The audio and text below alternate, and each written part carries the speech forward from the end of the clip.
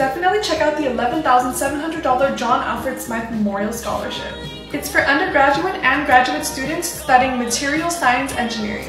These are the three essay prompts you can choose from and it's due November 1st, 2022. Apply only at Bold.org.